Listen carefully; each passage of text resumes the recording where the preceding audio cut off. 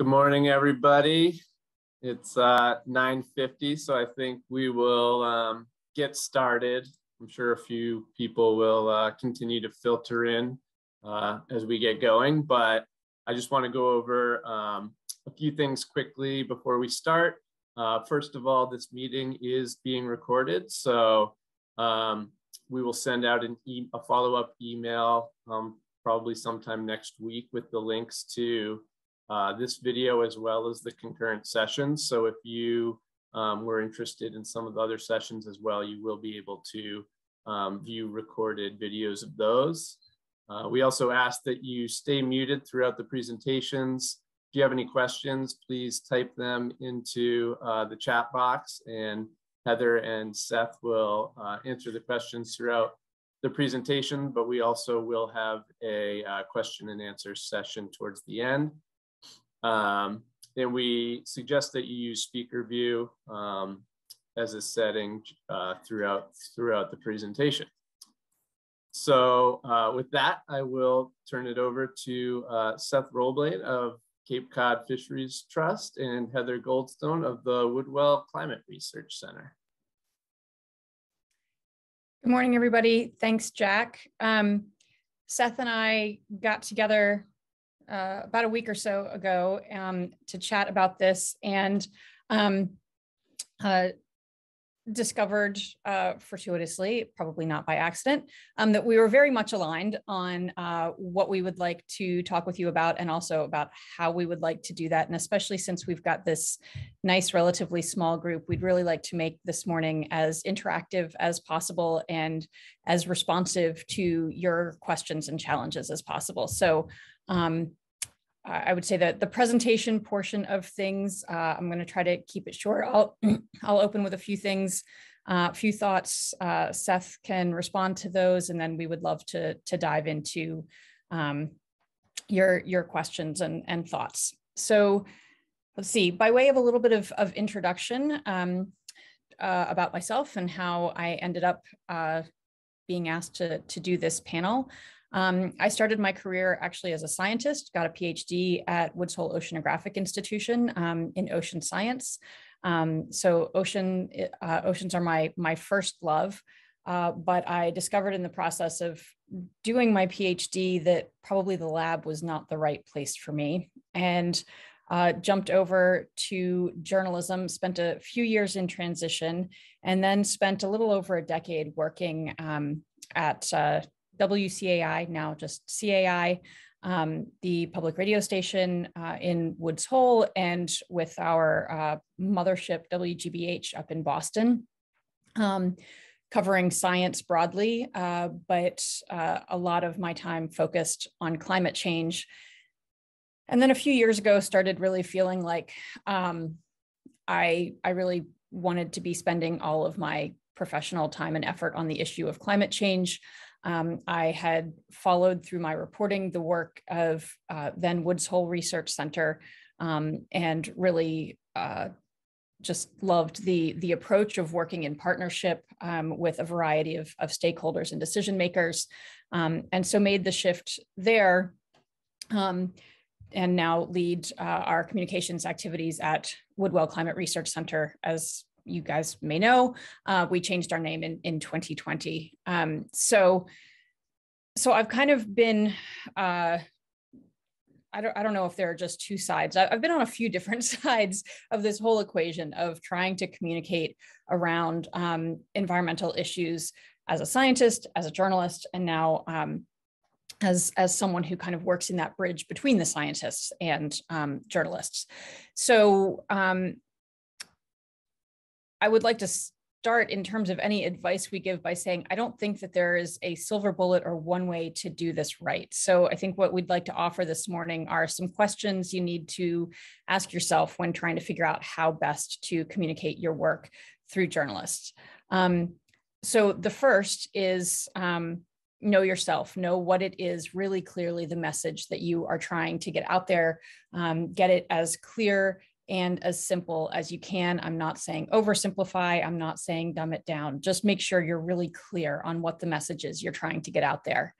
And then, of course, um, you know the the lessons of of any public speaking know your audience um, and uh, in terms of knowing your audience um, i think the first thing to realize is that journalists are in fact not your audience they may be the person that you're speaking directly to but in actual fact, those journalists are an avenue to the audience you actually want to reach, right? So, yes, you need to be developing resources that support journalists. You need to be aware of um, how to get their attention and how to help them tell the story. Um, but I would encourage you to think about journalists as um, a partner here in trying to reach an audience that they um, that they have um, uh, I would say at their disposal, but everybody's competing for attention. So that may not be the case, right? So um, really think about who is that end audience that you're trying to reach. Again, get as specific as possible about that. We are increasingly in our work um, going beyond saying, okay, we're trying to reach policymakers to say, what kind of policymakers? Are we actually trying to reach the decision makers or are we trying to reach their staffers? Who is that person? What motivates them? Where are they reading? What are they doing? Um, and really getting to the to the point of, of you know developing actual personas um, for the people that we are trying to reach with our information so that we can tailor those messages more clearly. Because i think the other thing to realize is that there is um, I don't know if there ever was, but certainly at this point, um, I, I, think the idea that uh, you can tell one grand story um, and reach everybody with that um, has been thoroughly debunked. And so it's more about telling the right story to the right people. And you're probably going to have to do that multiple times to reach multiple people. Um, so the front page of the New York Times is great, but even that isn't necessarily going to reach everybody. So again, thinking really specifically about who you're trying to reach and what is the the version of your message that's likely to resonate there. And then um, I think the last thing I will say before handing it over to Seth um, is to, to say, um, build relationships with journalists um, so that you have a better understanding of um, what their constraints are, what their interests are, what their editors' interests are, so that they better understand what your work is, how it's progressing, when there might be opportunities to tell the story, right? Don't only reach out to journalists when you have a press release, really try to figure out who are the journalists who are in the best position um, to get to the audiences that you want to get to and um, and actually de- develop some relationships there that can can really come in handy. So with that, I will hand it over to you, Seth. Thank you, Heather. Um, really nice to be with everybody and to see some familiar names and some familiar faces too. Uh, really nice to be all together on this. Uh, so some of you know me. Uh, I came out of a, a, early career in print journalism in small papers on Cape Cod.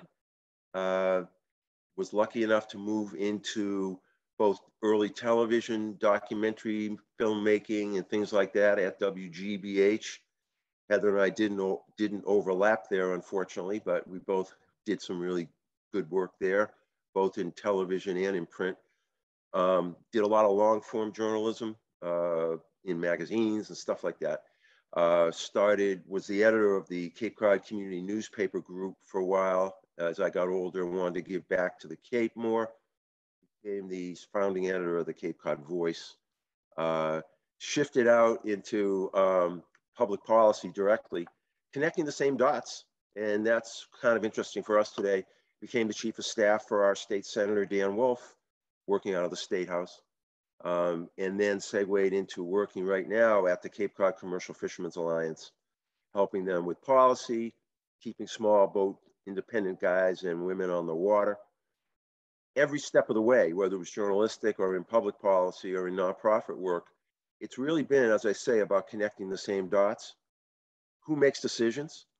How do those decisions translate into a public conversation? Who gets the right to participate in that conversation? Who makes the decisions and why? And how do you work with the decision makers and with the public, which is what you're talking about right now, to make those decisions as um, equitable, looked at through the lens, the prism of social and environmental equity as you can. So that's kind of where I'm coming from.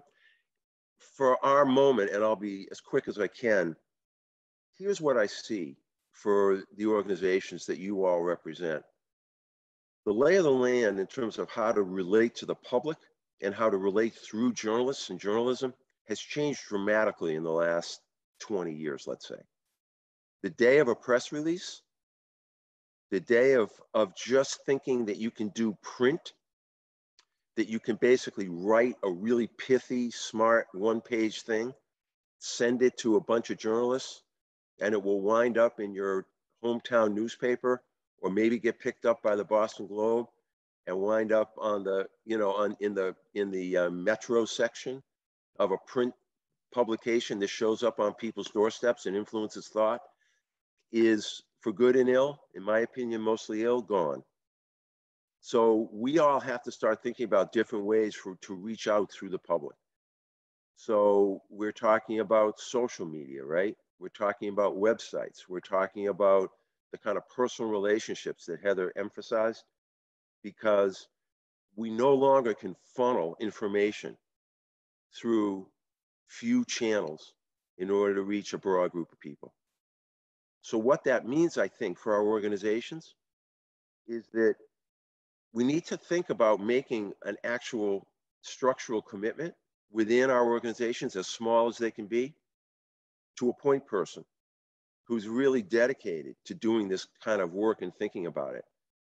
I mean, we all uh, imagine, you know, if we have the resources, having a, a donor team or a development group, you know, or uh, a, an executive director.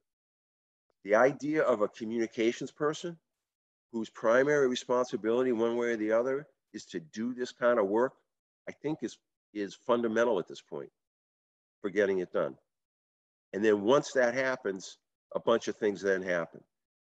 Again, I don't mean to repeat what Heather said, but number one, you identify your audience because your audience is not going to be everybody. Are you interested in reaching out to potential donors? Are you interested in reaching out to decision makers? Are you interested in reaching out to supporters, right? Are you interested in building new supporters? Each time you think that through, it suggests a little bit of a different strategy.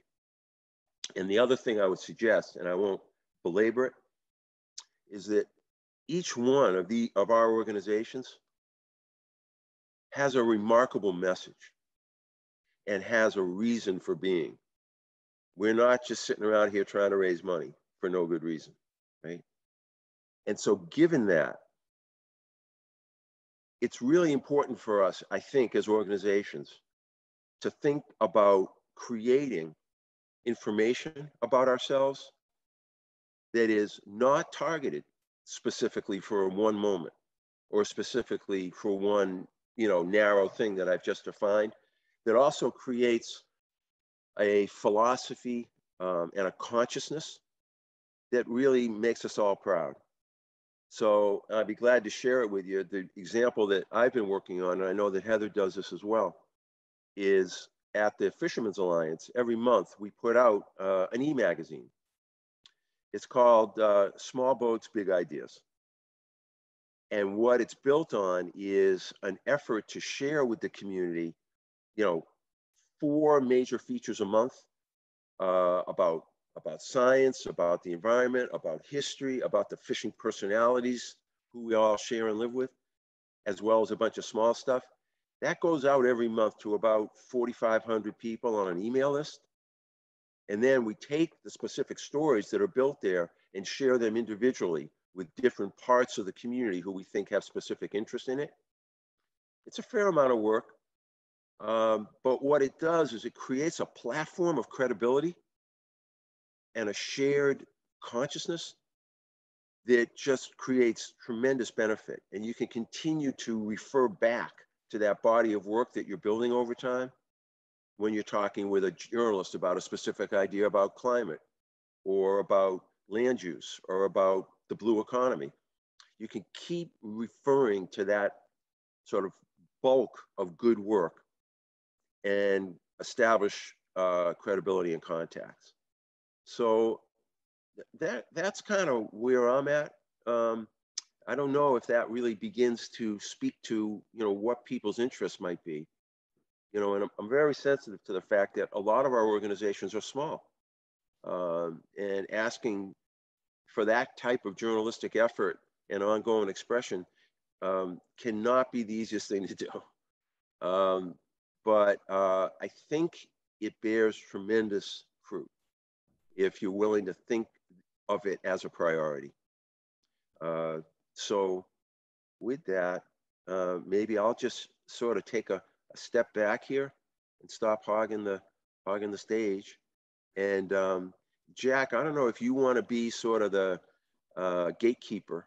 yeah, I think I think so. We had a, a couple questions come in on chat, and maybe um, I'll just have those people unmute themselves and ask them, and then after that, we have such a small, intimate group that I think if there are any um, additional questions, if you just want to either uh, type something in chat or uh, click the little hand icon or something so that we know you have a question, we we can uh, have you unmute yourselves and ask your questions yourself. So um, why don't we start with uh, Johnny Robinson had a question uh, for Heather.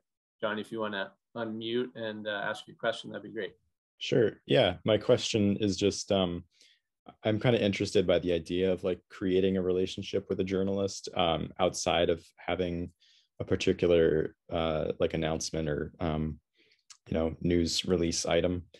Um, so what are kind of like the logistics of how to do that uh, like you know building those relationships over time is it like saying you want to grab lunch sometime or something like how would how would you do that without a journalist feeling like why are you contacting me Great question. And I would love to hear Seth's uh, thoughts on this as well. Uh, you do want to be respectful of the fact that journalists are facing crazy deadlines and workloads like we all are. So you don't want to waste their time. But at the same time, yeah, a, a coffee, a get to know you, just, you know, hey, we, you know, we work in your town, would love to get to know you and get to know, you know, your beat, what you're covering, um, what interests you and, and figure out how we can be a resource for your reporting, um, I think is, is one avenue. Another thing that we do, which again, to Seth's point, it, it takes resources, um, but we will often, uh, a few times a year, uh, looking ahead to, to certain, um, well, events or, or just kind of points in the year where there might be an opportunity to just um, reach out to journalists. Now, most recent example, just kind of new year, um, looking at climate change, um, where we expect uh, the issue to go this year and what might be potential areas of coverage. Um, where do we have expertise that might contribute to that? And we just sent out a happy new year as you look forward into your year. We just wanted to remind you we've got these resources when you're reporting on these issues. We you know we'd love to talk to you about any of those. So just kind of sending them a menu and a reminder that hey we're here in this space. Um, when you're reporting on something we might be a resource for that. Um, similarly offering um, kind of briefings is something that we do where in our case we're kind of going from our institution to say meteorologists and we're almost doing continuing education right? Here's how climate change shows up in the weather and these are you know things background science that might help you understand and blah blah blah. I think there are different ways obviously that that groups like um, like yours might do that and it might even be something like hey, get together with a few of the conservation organizations in your town, reach out to the local paper and say, hey, could we all get an hour with you, just roundtable, help you get familiar with the organizations that are working in the conservation space in the town, um, feel out where you guys are doing coverage. It would just be a great hour to, you know, to hope, hopefully support your reporting. So those are the sorts of things that, you know, that I think about in terms of um, ways to build those relationships. And I will tell you that both from the um, organization side now and previously doing this um, uh, from the reporter end at CAI, that hour, hour and a half spent, we did this a number of times, roundtables with um, actually, you know, uh, Rich mentioned right whales. We did this, we grabbed half a dozen different um, right whale scientists from around the Cape and Islands and three or four of our reporting staff at WCAI. We sat down for about an hour. People didn't want to leave. There was great conversation going. There were so many story ideas that came out of it. There were research ideas that came out of it. Everybody felt like it was really worthwhile. And it ended up catalyzing an entire multi part reporting series on right whales. Um, and developed relationships on both ends so that I think the scientists felt more comfortable reaching out to us or saying yes to our requests. And we felt like we had a better lay of the land of exactly who knew what and who we should turn to in any given breaking news situation. So I think they can be a really useful, you know, it can be a really useful hour spent to, to think about those kind of things. Great, thank you. Yeah, I think that's great. Johnny, I, I don't know your organization. Who who who are you working with? I was actually in, invited to this through my my dad, Mark. So that'll do it. So um, so you might know then that, for example, I just did a long a long feature about your dad and about the the compact for um, the Substack that I do, the newsletter that I do. Uh, it's called Cape Cod Voice. That's and, right. I uh, that. Yeah. Yeah, and and that was actually generated, of course, from years of personal relationship. But one thing I would say, if people are thinking about trying to develop relationships with journalists, is that there's a reason why you're thinking about a particular journalist. Obviously, you've seen that person's work or heard that person's work. And one of the first things I found that journalists being humans really appreciate feedback and really appreciate the understanding that somebody out there is actually looking at or in hearing what they're doing so if you are interested in developing a relationship with a journalist, my suggestion is be responsive to what you've seen. Um, write that person a note, follow up on an article, say, hey, I saw that. Nice, nice job. By the way, have you thought about this? Or just, hey, that was really cool. Or by the way, I think you might have missed something on this one. Whatever you want to say. But begin the conversation by acknowledging the journalistic work that's getting done and then start to think about suggestions, story ideas. Journalists love story ideas. It makes their work better. It makes them feel like they're uh, stretching. And if you come up with a story idea or two that you think, based on the work you understand this journalist is doing, that he or she might be interested in, suggest it. And use that as the moment to say, hey, I just, I don't know, don't mind me. I, I, just have a few ideas, you know, that I thought you might be interested in. If you'd like to chat about them, would love to. We could have a cup of coffee, or we could talk on the phone, or we could stare at each other in these little Zoom boxes, whatever it is, and uh, and just do that. Um, and by by beginning the process that way, you're acknowledging work, you're showing respect, and you're offering something tangible. You know, I think to to amplify on that, right? When you think about donors and potential donors, right?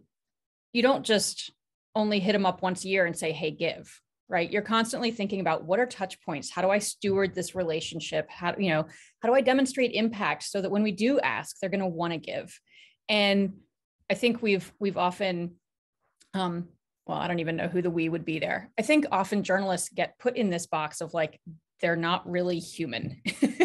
um, and I think what Seth's saying is is really powerful. Like, so think about it in the same way. What are potential touch points? How do you steward the relationship?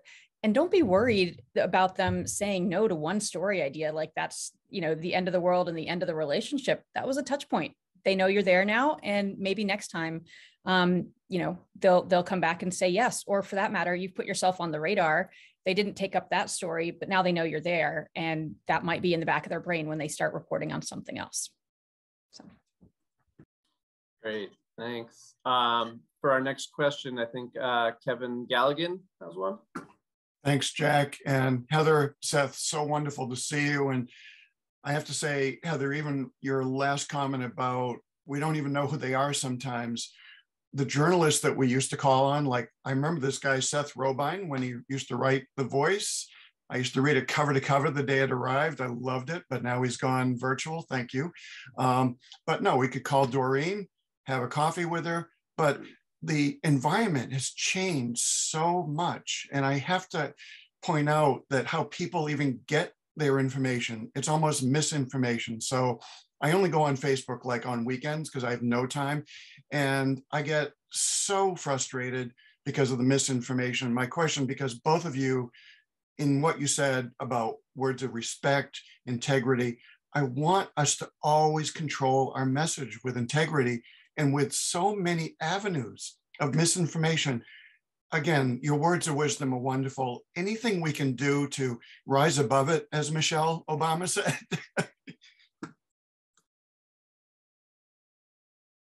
I don't know. Heather, you want me to try first? I, go, go for it.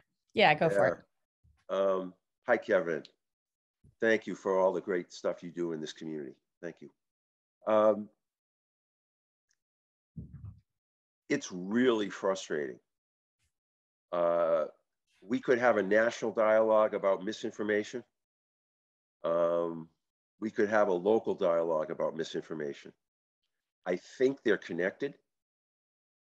And I think it's a fundamental issue for our democracy and for our communities. That said, I, I think for organizations like ours, I think what you have to do is define your playing field. You can't respond to everything. You can't respond in every format. And one of the things I will say, and it's a difficult thing to absorb, is that when you see something that's really, really unfortunate, you know, whether it's vituperative or vindictive or just a flat out wrong thing, the real, one of the real questions that we all have to face is when do you respond? And when don't you respond? Because if you choose to respond, two things happen. One, whatever the platform is that where you're responding, you are now defining it as the avenue that people need to turn to to hear what you have to say. That gives power to that element where you're responding to. You're adding material, you're adding subject matter, fodder, whatever you want to call it, right? And you're probably uh, alerting people who never even saw what was going on to the fact that it was going on. So now you're adding to the audience as well. On the other hand, as we've learned, if you ignore lies, they have a way of multiplying and taking on a life of their own. So the decision about when to intervene and when not to and why is a really difficult one. Um, I don't really have an answer for that, but I think the high road that you're talking about is really crucial. And I think that the key point is to define the avenues that you choose, whether it's your website, whether it's your Facebook posting, whether it's your social media uh, email list, whether it's your journalistic contacts, and stick with them. And don't allow yourself to get sidetracked into the mud of all the rest of it. So I want to zero in on one particular word that you used, and that's control, controlling your message. And I think that's such an important thing to consider. And I really wish we were in a room with a whiteboard because I know the limits of my skills and I am horrible on Zoom whiteboard. So I will not torture you with that. But we literally, uh, well, probably a couple of times a year, or if we're considering trying something new, um, there, there's a, a graph that we'll actually draw. Put control on the x axis, right? How much control you have over the situation, the message, who's hearing it, you know, everything. And on the y axis, put potential impact. And then graph the different things, put, put the different things you could do to get your message out you know rank them on those those two different dimensions control and impact and what we often find is you can almost collapse that into a, a single dimension that the control and impact are almost exactly inversely related sometimes right so you need to it's, it's a risk reward calculation that you're doing for any given communication activity. So that's talking to a journalist, that's going on social media, that's doing an event, that's um, you know, depending on the nature of the event, whether you're going and giving a presentation and there will be moderated screened Q&A versus uh, you're going and giving an event where um, it's a panel discussion uh, where you're just responding to questions and then there's going to be an open q&a where people can open mic and ask whatever they want right? Like you can look at these these dimensions of control and impact um, for pretty much any communication in, uh, that you engage in. And um, not to repeat myself but i think it really just by dint of the fact that there's more engagement and interaction involved in some of those lower control um, activities, that's also where you have more impact because people are really engaged. And so I think it's, you know, and I think, um, again, there's probably no one silver bullet and this is the right way to do it. Pick your level of control. I think it's more about having a portfolio right? It's just like investment like different risk levels in your in your investment portfolio right? You don't want to be all high risk you don't want to be all low risk. You're probably going to want to engage in a range of those um, where you've got some activities that you're going to need to prepare for, be ready for what the risks are, but you have the potential for huge impact. And then maybe you're weighted more towards the one where you have more control, but you know it's going to be more limited impact, but you're really kind of kind of almost like a pyramid, right? Like you're you're creating a base of like this is our message, this is here who we are, we're getting that out there, we're getting that out there so that that's the kind of base and and then we feel like we can build on that by doing this higher impact but higher risk activity because we've got that that base underneath us. Great, thank you. Uh, for the next question, I think we'll go to uh, John Lamb. Okay, thank you. Thanks very much, both of you. It's a very great work that you've been doing in many ways over the past. I really appreciate it. Um, land trusts in the past have tended to think it's best to stay in their lane, to try and just focus on protecting pieces of land one by one and not speak out on uses of any other pieces of land or, or, or wider issues too much for fear of uh, alienating some people who might not agree with those positions just to play it safe. But if we wanted to look at strategies to, yeah, it seems like there's, there's a lot of call for us to be uh, a little bit more proactive on a wider basis now with uh, the issues of climate change. Uh, do you have any advice in terms of preparing a strategy where we would actually be able to reach out further and minimize the risk of alienating people who don't agree with us politically? Are there, that there are ways to do that that you would advise that um, that we can consider, uh, and also ways to then as, assess the sort of relative risks of doing that, uh, of reaching out more versus uh, staying in our lane?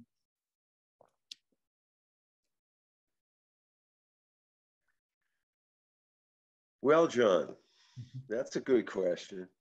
Um, I'm thinking about the recent experience with the Brewster Sea camps, which you know you were very much involved in, as a as a moment where the lanes really crossed over yes, at a lot of interesting levels, um, and created a remarkable success. Uh, and it may be a, an interesting Harvard Business case study to really analyze how Brewster wound up making that remarkable move uh, because I think it's really speaking strategically to what you're talking about um, in terms of, of bringing together everybody from affordable housing to open space uh, to summer camp kids uh, around an issue. Um, I think what I'd say about it is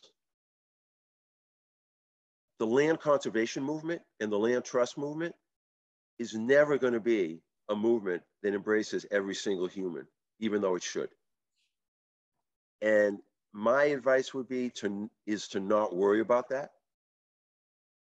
That I think the more uh, partnerships and interactions that conservation movements develop with uh, sympathetic partners of different stripes, the better.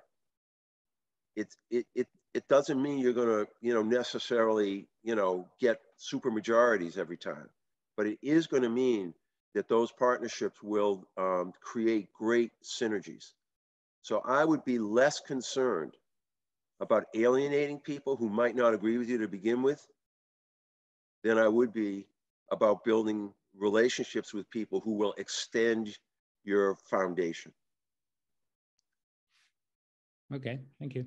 Yeah, absolutely agree. And I, I think listening to to Seth talk about that, I, I think um, I'm not always sure that that folks on the receiving end of our communications are thinking about our lane in the same way that we might be. Um, if you're talking about your donors or your potential donors, they're giving you money because they believe in what you're doing and they trust you. And um, that means that they're potentially looking to you for thought leadership and not just in this very narrow, like, you know, what what should we do with this parcel of land that we already own? Should we put trails here? You know how should what activities we should do? But looking for you to help connect that to other parts of their life. And i think there's actually a power in reaching out to new people that way by not making land conservation this other this thing that just some people value land for land you know as a as a standalone kind of thing and that's just for some people but helping people connect the dots to the ways that land conservation connects to other parts of their lives helping them see that connection and feel that connection of like oh i am concerned about climate change and look they're connecting the dots that that preserving land ties into climate change i'm concerned about clean water look they're connecting the dots between land conservation and clean water I'm concerned about um, equity and justice. And look, they're connecting the dots between land preservation and access to open space um, for disadvantaged communities. Like, you know, so I think there, there's maybe just a way of kind of of reframing the the thinking there that it's not so much about getting outside your lane. It's about creating connection and making what you're doing feel interwoven with uh, people's lives in a in a deeper way. Thank you. Thank you. I think that's great advice, um, actually. Uh, it's, it's yeah, more of a sort of educational role of you know taking an objective position, not um, not just sounding like uh, an activist kind of thing, but uh, having having good reasoning behind it and leading with the reasoning. Um, and that said, in my experience, um, land conservation can be an incredible way to open doors to more controversial topics because if you just lead with talking to somebody about, you know, is there a place that you love or a place from your childhood that you cherish?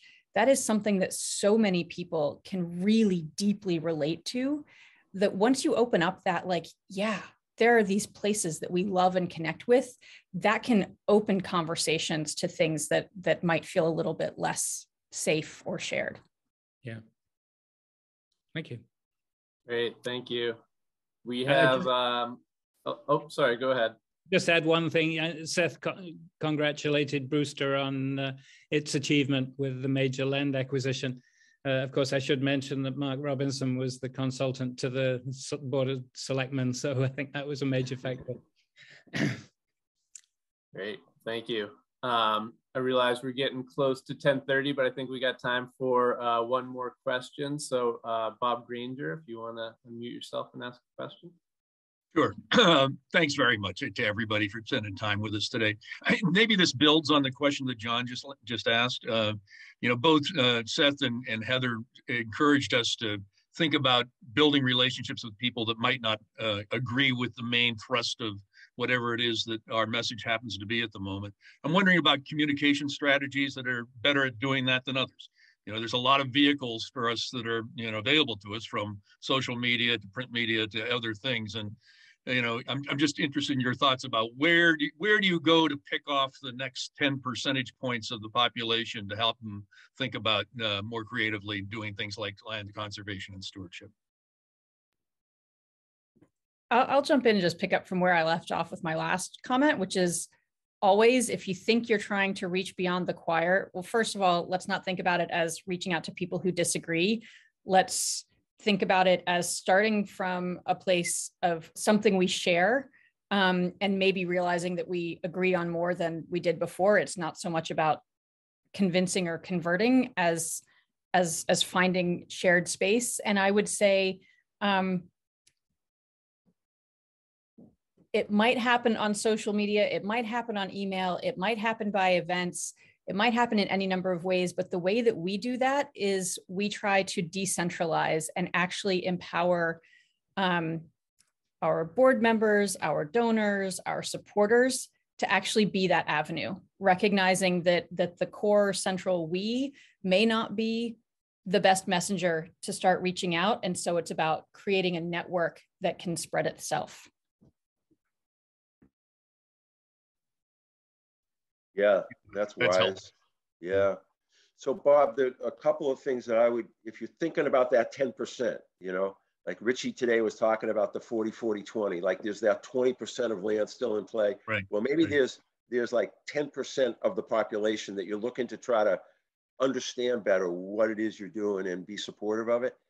I, I think the, I think the best way to reach those people is to identify potential organizations that exist in your community that are already dealing with those people and connect to them.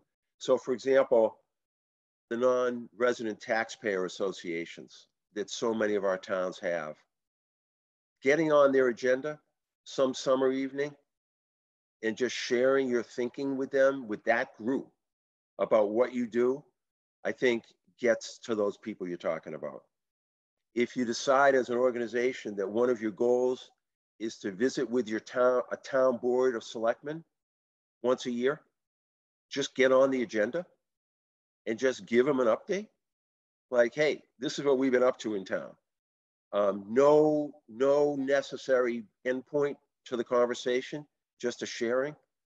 I think that gets there. Um, I think if you begin to think about other organizations with specific goals, whether it's even schools, you know, um, parent teacher associations and things like that, ways, historical societies, ways that you can reach to those people, think a little specifically about their mission and relate it back to yourself and just do it as it comes along, as meetings happen. I think that's how it happens. I think that's very helpful. Thanks very much. Sure.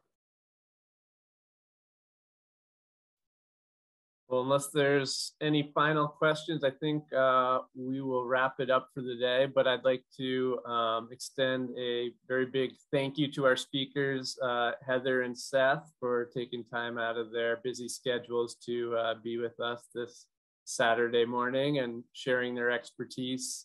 Um, I thank you all as well for participating. I, I know I learned a lot, and I hope I hope you all did as well. And like I said, if uh, you were interested in attending any of the other sessions, um, they are all recorded. So uh, we'll be sending a follow-up email with the links for all those recordings uh, probably in the next week or so. So thank you all very much. It was uh, great to see you all. And um, hopefully you can take some of these lessons and, and implement them with your organizations. Thank you all very much. Thank you very much. Thank Thanks, you. everybody. Hey, Heather, thank you so much. It's really good to sort of sit side by side with you. That was Yeah, that it was a really nice. pleasure. It was a pleasure, you. Seth. Thank you. Take care, everybody. Bye, everyone.